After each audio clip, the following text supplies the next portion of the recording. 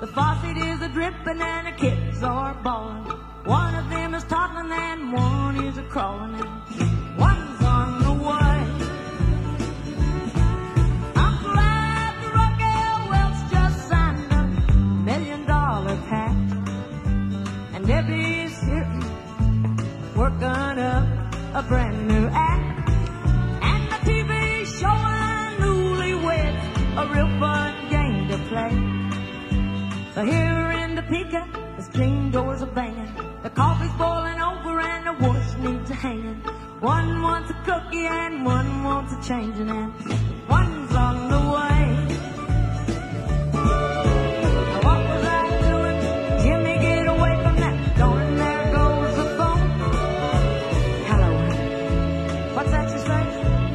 a few old army buddies home? You're calling from a bar? Get away from that. No, not you, honey. I was talking to the baby.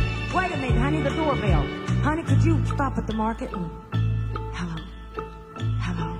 Well, I'll be. The girls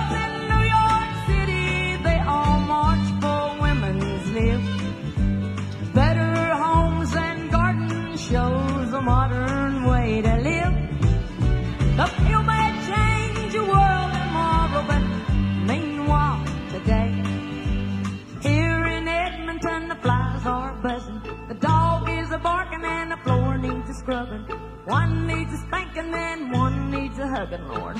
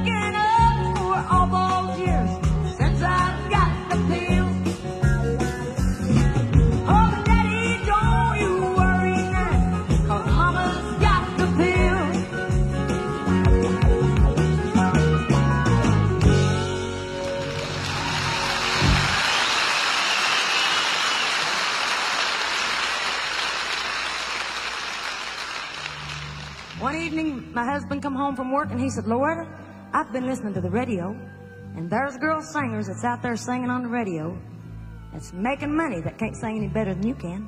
Said, I think I'm going to try to do something with your singing. Well, I really didn't know what he had in mind, because he'd never heard me sing, except walking in the house and catching me rock, rocking the babies to sleep. He said, there's a little country band that plays not too far from here on Saturday night. Said they play for a little country dance. Says Saturday night we'll go listen to 'em. Tickle me to death because with four kids you don't get to go nowhere. Saturday night come along and he got me a babysitter. My first big night out. My first big dance. We got to the dance hall and got just a little too much to drink. Got a little bit loud. Went up to the bandstand and hollered, Hey, next to Kitty Wells, I've got one of the greatest country girl singers here in the world. And said, I want you to let her get up and sing. And friends, I took off running. I heard one of the guys in the band say, We don't let nobody get up and sing here. Well, as the night went on, it got a little worse, and a little worse, and a little worse. Aggravated every one of them to death. Finally, one of them looked down at him and said, Now listen, if this girl can sing as good as you say she can, you bring her over Wednesday night. So we tape a half hour country music show and we play it back on the radio on Saturday. So, well, we'll put her right on the radio. They figured he'd forget it. Lord, I was hoping so. He didn't. Wednesday night come along when he come in from work and looked at me and said, Are you ready? And I said, No. He said, Get that way. And I did. We went over to the musician's home and they come to the door. We knocked on the door and they come to the door and looked down at us and looked like they said to themselves, Gee, what have we got ourselves into? Well, one of them looked at me and said, What do you want to sing? I only knew one song all the way through. And I said, There he goes. He says, What key do you do that in? And I said, I don't know. He hit a key and I hung on. The next morning, they come over at my house and they hired me to sing with them every Saturday night for five dollars. I knew I was going to get rich. I saved all my money up and I bought me a white hat, white boots, a black skirt with big long white fringe, a black shirt with big old red roses. Annie Oakley would have been ashamed to have stood up beside of me. I strapped my guitar around my neck and I headed for Nashville, Tennessee. I'm sure if my husband would have ever dreamed the music business would have taken us away from each other so much, so long at a time, he'd have never asked me to sing that first song. I know you read articles every now and then where he gets out, gets a little too much to drink, but he gets lonely. He stays home and does all the farming, takes care of all the kids, all the kids' problems, or tries to, and if you've got kids, you know that's impossible. There ain't no way. So when he gets lonesome, he gets drunk. And he gets lonesome every night. So one day I wrote him a song. Called him up about 3 o'clock in the morning and I said, honey, I wrote you a song. Which I made a mistake by calling him up at that time of night. He said, well, what is it? And I said, don't come home with drinking with loving on your mind. That's what it is. Come to tell me something. You say I ought to know that he don't love me anymore, and I'll have to let him go. You say you're gonna take him, oh, but I don't think you can, cause you ain't woman enough to take my man.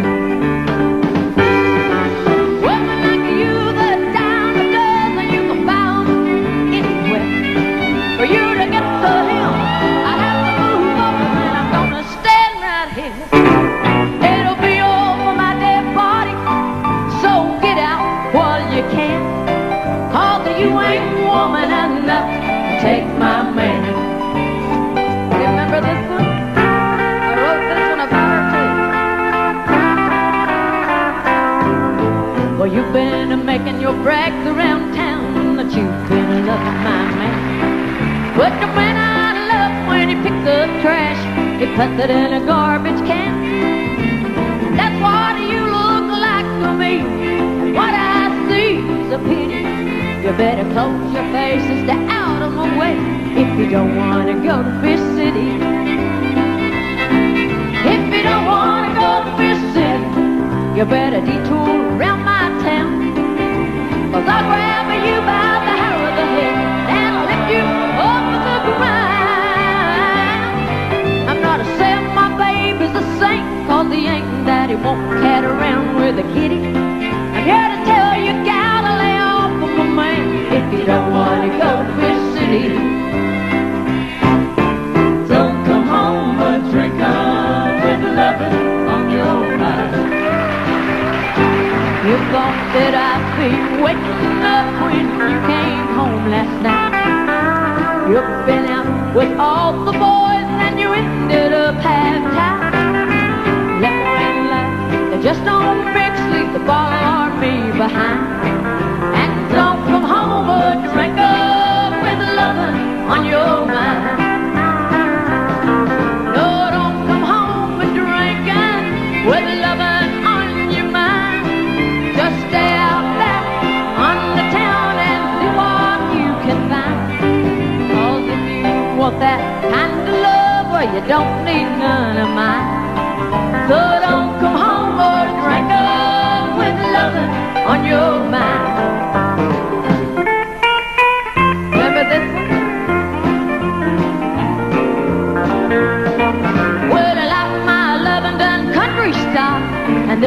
little girl would walk a country mile to find her a good old slow talk, a country boy. I said a country boy.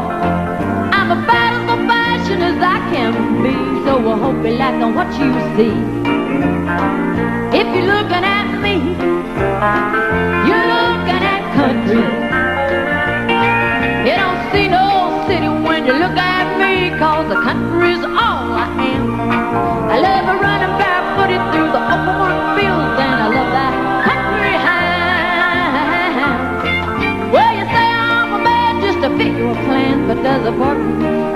your hand. If you look at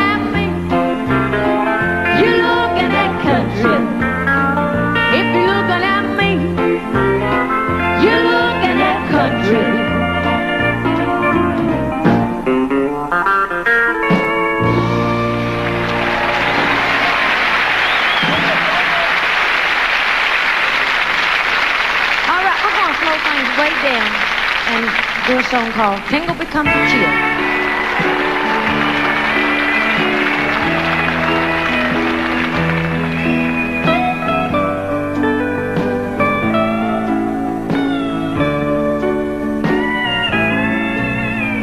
Sometime at night while you're fast asleep, I lie here alone in the darkness and we So sorry and sad, but that's part of the deal when the tingle becomes a chill.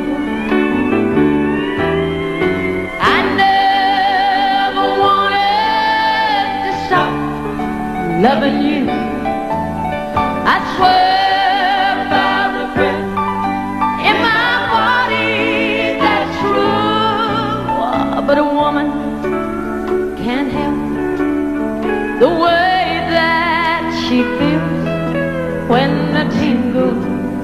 becomes a chill.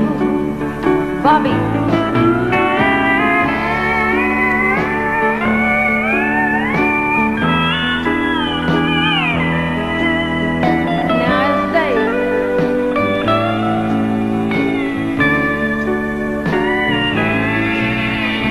You're so contented, but for me it's all gone. Although I pretend you just don't turn me on. The body performs, but the soul has no will. When the tingle becomes a chill.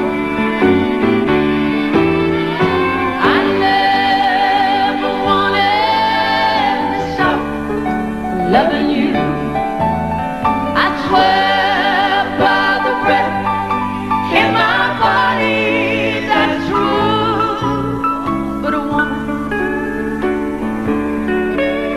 the way that she feels when the tingle becomes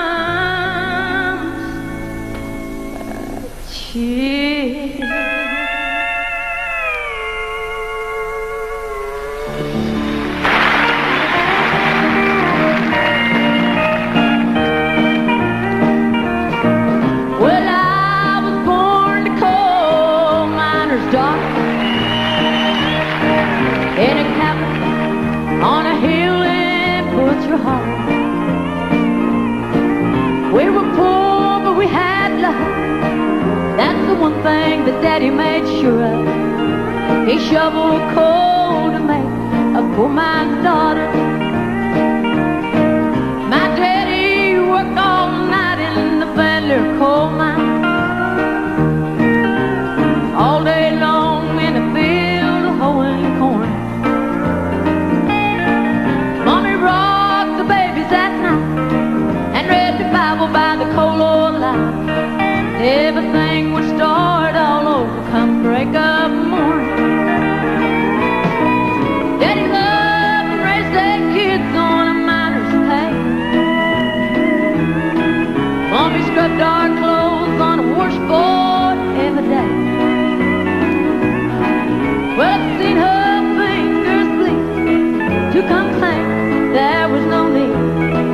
Need.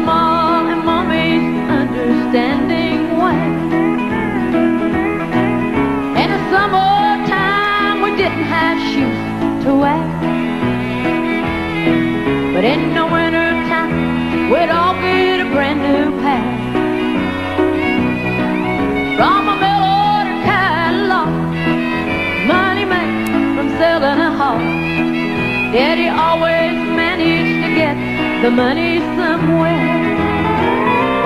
Yeah, I'm proud to be a coal miner's daughter.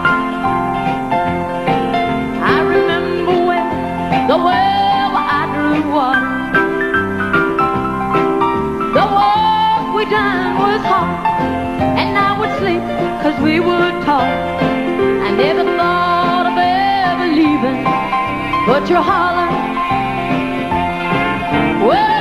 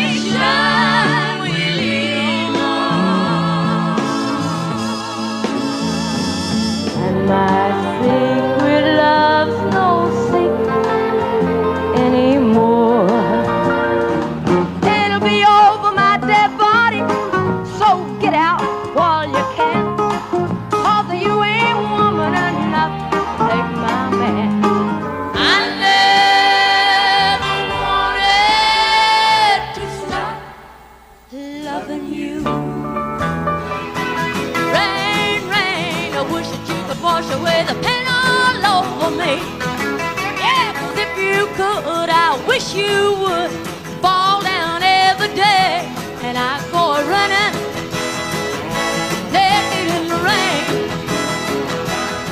We were poor, but we had love. That's the one thing that Daddy made sure. He shoveled coal a poor man's dollar. Oh, and how you loved on me. I can almost feel you with me here in this blue moonlight. Oh, I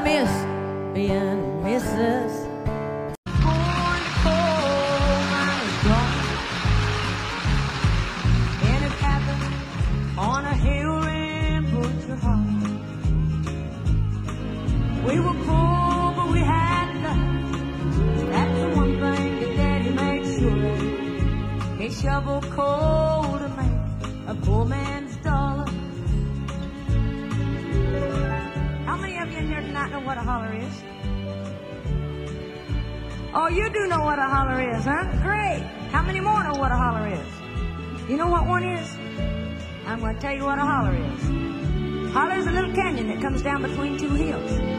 Down between these two hills is a little stream of water. On the sides of the hills is where we build our cabins. And if there's any level ground, that's where we put our gardens. And the way Butcher Holler got its name is like this. My grandmother was a butcher. My grandfather was a Webb. And friends, there just so happened to be a lot more butchers than there were Webbs. And the butchers won out. And that's how it got its name. Butcher Holler.